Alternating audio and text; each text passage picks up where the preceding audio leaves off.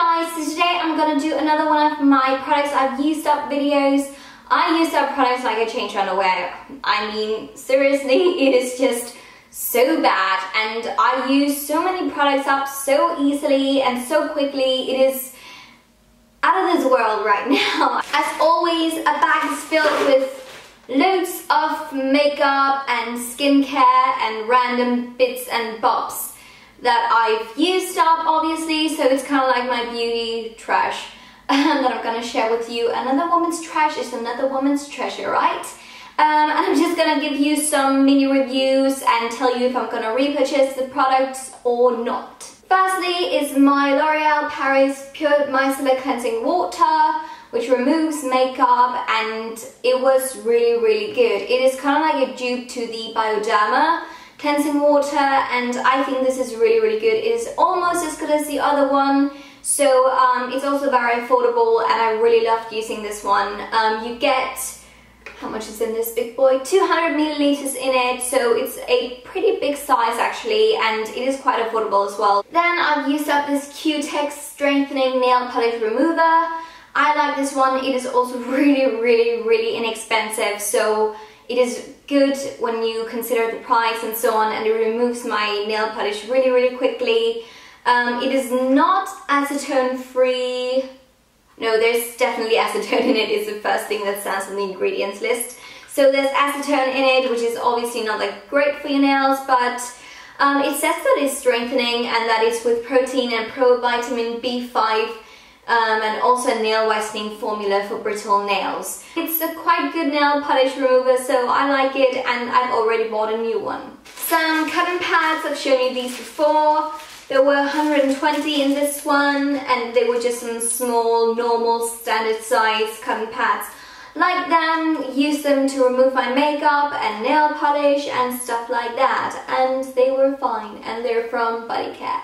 Um, and then I used up the Body Shop Tea Tree Skin Clearing Toner. I like this one. It says that it's suitable for blemished skin and my skin isn't really blemished but um, I really like the tea tree range from the Body Shop and I actually have also done a review on this one on my blog which I will leave down below so you can go check that one out. Oh my cat was almost falling off there. Um, but yeah, I, I like this one. The only really negative thing about this one is actually that it's got alcohol in it, which I'm not really a huge fan of. It really dries out your skin and it's just really not a good thing for you to use alcohol toners or anything like that. So I don't know if I'm gonna repurchase this one again. I mean, I did like it when I used it. It didn't really irritate my skin or anything like that. But um, at the moment, I'm using a um, a alcohol-free toner from Clarins, which I really love. So I'm not sure if I'm going to repurchase this one, but I did like it. Next is my Estee Lauder Advanced Night Repair Serum. Um, this is so good for all skin types and it is just amazing. It is the best serum I've ever tried and this is the um, 75 milliliters bottle so this is the biggest one that you can actually get. It is so freaking expensive and I feel so bad whenever I use up one of these because they are so expensive but they're definitely worth all of the money all of the hype. I could not live without this one. So obviously I've already got a new one of this one and I would definitely recommend all of you guys to go try it. It is for all skin types, skin tones, um, skin ages, it doesn't really matter it is just so anti-aging and just so firming and reawakening and lovely and I just love it. Then I've used up this Hydra Life um, Pro Youth Comfort Cream from Dior. It may not look that big, but it took me around a year to get through this one. And I think it's because of the fact that I just really didn't like it. Um, and I feel so bad about saying that about this product because I really want to like it because it's from Dior and I like the packaging and everything but god it was just a pain to get through. It's only got 50 milliliters in it so it shouldn't take a year to get through but it's just been a pain for me really because every time I've used it I've just felt that my skin went so not greasy but just wet and just not like itself at all. And it also broke me out a bit as well. So actually I just really didn't like it. But I said to myself I'm not gonna throw it out because it was way too expensive to just throw out. So um, It is supposed to be for dry skin and my skin isn't really dry so maybe that's why it just really didn't work for my skin. But I just didn't like it and actually I'm not even going to recommend it to you guys because I really didn't like it. I mean the smell is really really lovely but that's actually the only positive thing that I can say about this one. Next is also from the Body Shop. It is the Olive Shower Gel, which is a soap-free cleanser with community fair trade cold-pressed olive oil from Italy. And I enjoyed this so much, and I'm definitely going to recommend this one and also repurchase it sometime soon. The smell is so lovely. I mean, I don't even like the taste of olives, but the smell of this one, oh my god. I could literally just do like this, oh, because it is so good. Um, I really love the scent of this one. It is amazing. You get 250 milliliters in it and it took me some months to get through it. Um, so I really like it. A little goes a long, long way and I just really loved it. Some makeup. Um, I've used up the Maybelline Master Precise Liquid Eyeliner. The tip looks like that. Um, and it was an okay um, eyeliner. It was kind of like a standard eyeliner and I, I did like it. So, you know, it's not really a must-have for me. So I'm probably not gonna purchase it anytime soon. Um, but I did like it. Next is some MAC Brush Cleanser. My favorite brush cleanser in the entire world and I love it. So, um, Oh my god, that was almost like a commercial thing. Okay, but still, I really love this one and um, I'm gonna recommend it to all of you guys once again. I am very strict when it comes to my brushes. I just don't want them to get ruined by any crap um, brush cleansers. So I know that this one works so, so well with my brushes and yeah, it's just my favorite. Cotton pads, oh my god, this is the maxi one from Satin Balance. I show you this in all of my um, products I've used up videos because I really like these ones. They are so soft and nice to use. It doesn't soak up all of the product. It still kind of like distributes the product um, when you use a face cleanser or whatever. So it doesn't soak up too much product, but it's still very like, I don't know, that sounds weird. Oh my god. Shut up, Camilla, just move on. I like these. Um, some more nail polish remover. This is from Maybelline. This is the Express Remover, um, where you just dip your finger into um, this hole up here. It's got kind of like a sponge in it. You can't really see it, but it's got a sponge in there. And then you just stick your finger in there and then swirl it around. And then when you take it out, then the nail polish is gone.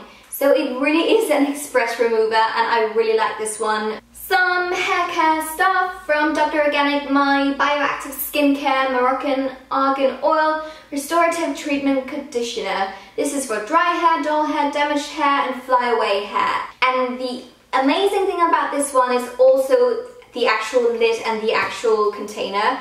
It comes in this kind of a container if you can see, so it's not one that you have to unscrew. So that was just so nice because then you didn't get a lot of water in the product and so on. There wasn't a lot of um, product wasted because of all the water. So I liked it. And as you can see, it's a huge big boy. Um, it's got um, 200 milliliters in it. So it was really, really nice. And it took me some months to get through it because I only used like hair masks or hair conditioners like every once or twice a week. So um, yeah but I really like this one. It's also organic so really good for your hair. Only great ingredients in it. So um, I liked it. Next product is one that has taken me forever and ever and ever to get through. And I'm so happy that this nightmare has finally come to an end. Oh my god it is the The Body Shop Vanilla Bliss Body Polish.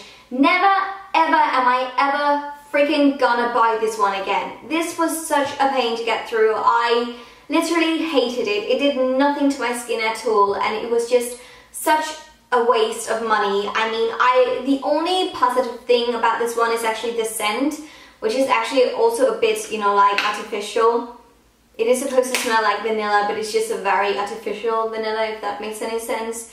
So I am just not a fan. It's supposed to be a scrub for your skin and supposed to, you know, like give you smooth and nice skin that is like exfoliated and etc. And blah blah blah. And it just didn't do anything. It was so watery and liquidy and all of the like I don't know corns or sand or whatever it is that's in there they were just so wet and didn't really do anything so didn't really scrub or exfoliate or anything and it just went everywhere in my shower. It was just such a pain. Every time I used it my shower was literally like a war zone of this because it was just literally everywhere.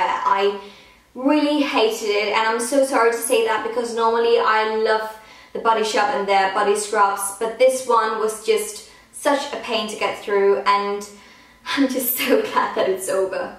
Next is my Clump Defy mascara from Max Factor. I used these up so quickly and oh my god, I love them. Love, love, love and already bought a new one obviously. I can't live without this one, my fave. Then I've got a powder, this is from Dior, it's called Diorskin Nude Compact in number 20 and I like this one. I'm not gonna open it and show you because there's actually some minor bits left but they're all just ruined and they just fall out everywhere and it's just a mess really. So I'm not going to show you too much but I like this um, powder. It's really nice. It gives a very natural finish and doesn't look cakey or anything like that so I liked it. Oh yeah and by the way it's got SPF 10 which is so good. So um, it's also sun protecting. Then we've got a lip balm here. This is from Labello and this is the Classic Care lip balm and as you can see it is all out there is nothing in it and literally I've scraped out the rest that's actually in it because I love it so much. It is really inexpensive so you can just go out and buy a new one for no money at all but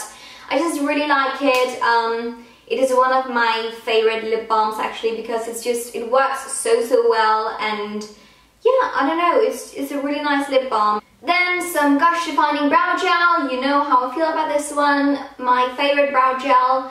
At the moment I'm trying out a new brow gel actually from MAC. I've been wanting to try the one for such a long time so I finally caved in and bought it and I actually really like that one but this one is still my fave I think once again I'm gonna recommend this one because it just sets your brows so nicely and so naturally without making your brows too crispy and too unnatural looking so I like it and yeah it's just really good. Last thing from this products I've used up video is also from Dior. It is my Dior uh, Diorskin Nude Concealer and it's a skin perfecting hydrating concealer and it's in the color 001 Ivory which is the lightest one and I really seriously love this one and I've gone through so many of these in my past. I enjoy using this one because it is very hydrating as it says but it also conceals really really well. Obviously I've got a new one ready to go.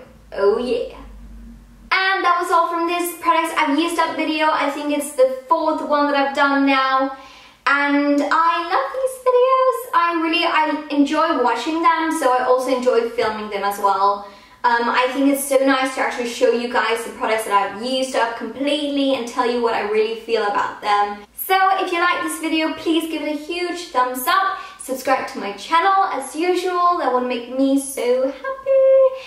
And also follow me on my Instagram if you're interested. I post a lot of photos in there of me and my family and stuff I do and yeah, just things like that. so thank you so much for watching. Have the most amazing day and I'll talk to you guys soon. Bye!